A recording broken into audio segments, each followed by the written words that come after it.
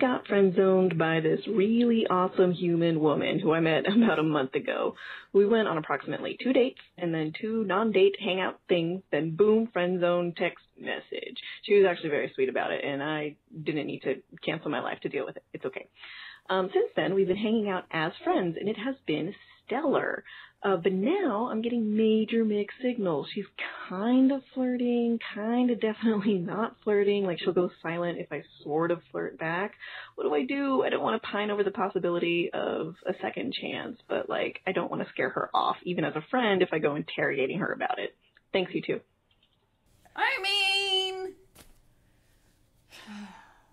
Can that just be our advice? yeah. if I was friend zoned by Dannielle, It's good. right? Dannielle, send me a friend zone text message. Hey, I had a great time hanging out. It's so good to have a new friend in the area. Cool. Now we're hanging out as friends. We're hanging out as friends, right? I'm Yeah. cool with it. My life isn't over. It's mm-hmm. fine. Whatever. Playing basketball. And now, Hey. Do you want to play touch ball? we're gonna sit here until Dannielle learns to flirt. Okay, pass me the basketball. Thanks, babe. No. No, that's not how you play. Oh, you missed. At least your butt looks good in those pants. Thank you. I was noticing yours earlier. Hmm. Okay, that's weird. See, you told me my butt looked good, and then I told you your butt looked good, and then you got weird. Oh, sorry. I mean, I just I want to be clear that I just want to be friends. That's cool with me, but you realize that friends don't normally compliment each other's butts. Kristin and Dannielle do. That's true.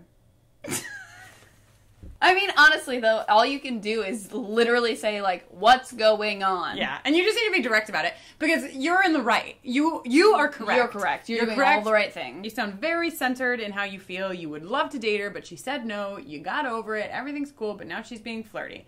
She's in the wrong. You don't friend zone somebody and then flirt. You certainly don't friend zone somebody and then flirt, and then when they return flirt, get silent because that's douchey, Mm-hmm. That's soup douchey. right? And douchey. let her know exactly where you are. You know, don't be like, "Hey, listen, doodly doo, we can totally flirt if you want," but but be like, "Listen, I'm gonna like you if you want me to like you, but if you don't want me to like you, just say it." Right.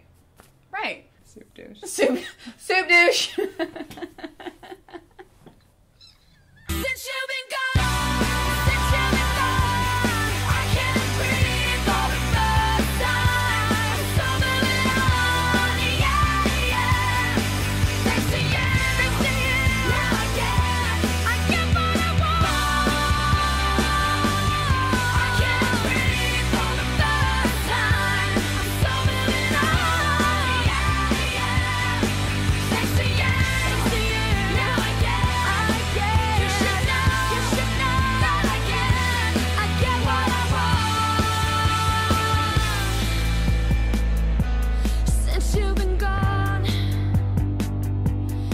since you've been